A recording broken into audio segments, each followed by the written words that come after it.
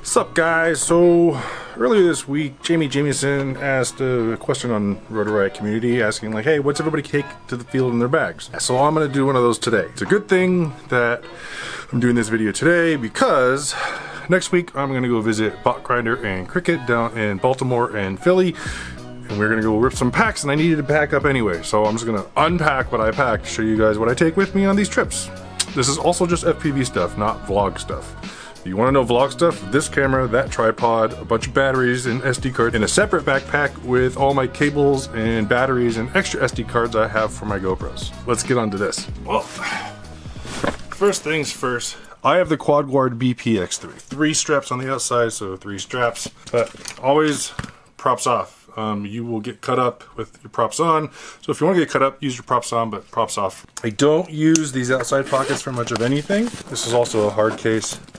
Um, I keep this where my, my stickers and whatnot that I give away to people. Also on the outside pack, I could put a water bottle here. This works really well, but in this case, it's almost seasoned, so yeah. You Should always have bug spray with you. Go on the inside. All right, so this has a really cool feature right in here. Um, this is for your laptop, can you see? But I don't use it for a laptop.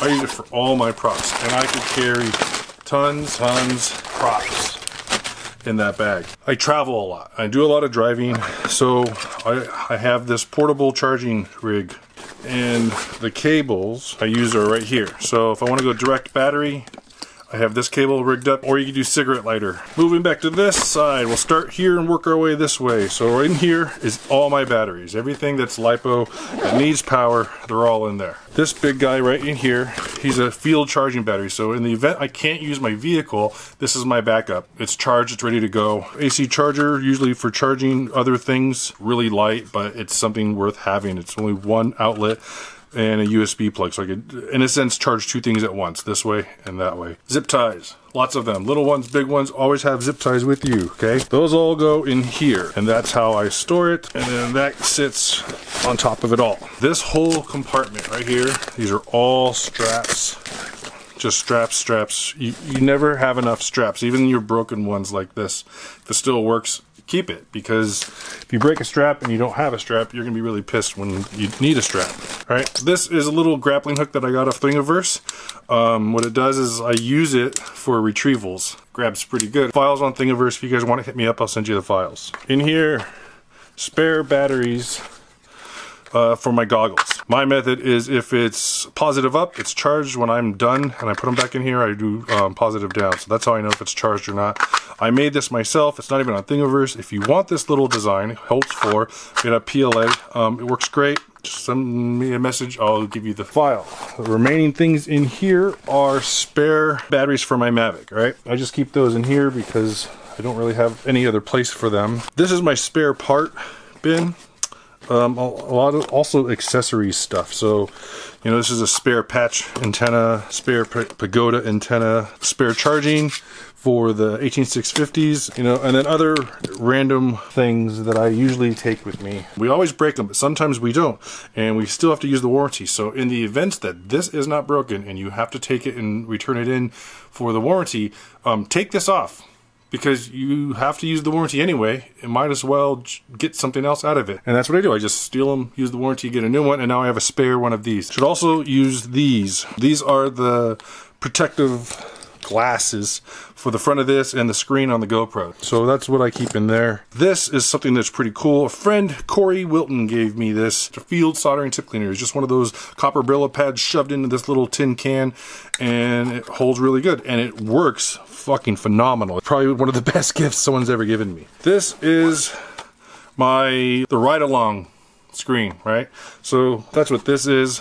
This used to be an old headplay screen goggles, uh, but it works really good. And now your partner or whoever walks into you is like, hey, I want to see what you're doing. Or if you're just like, hey, do you want to see what this is like? This is a great way to do that. I always take one of these with me.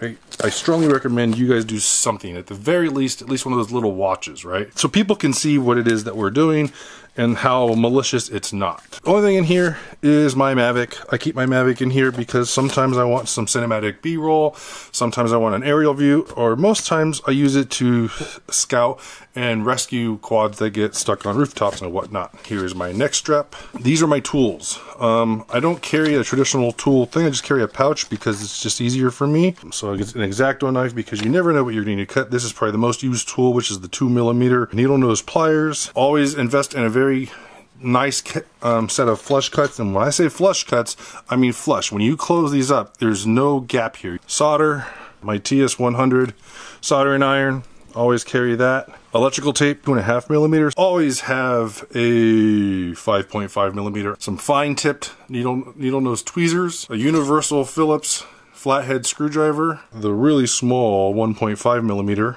Allen head, and then this guy. This is probably my most favorite tool. this is my prop tool, and it has you know a lot of leverage to be able to get down there and and bite down. Um, it works really, really, really well. This is my favorite prop tool.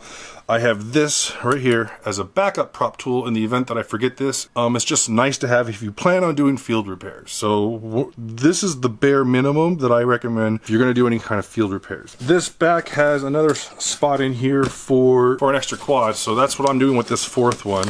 In here, really simple, I have my goggles which includes spare batteries and the antennas and everything I'm going to use and my transmitter. You know, I just use gimbal guards because there's a lot of weight on top of this and I don't want them pressing and ruining my gimbals at all. And I keep this on because this pouch allows for it. These are my bigger spare parts. So I have a spare Immortal T. Um, these are arms for one of my quads is the Dilly frame. But that is it. That is what's in my bag, people. All right, we're in. Zipping up. I like to put my prettiest quad right on the top, so right now it's the Marmotte.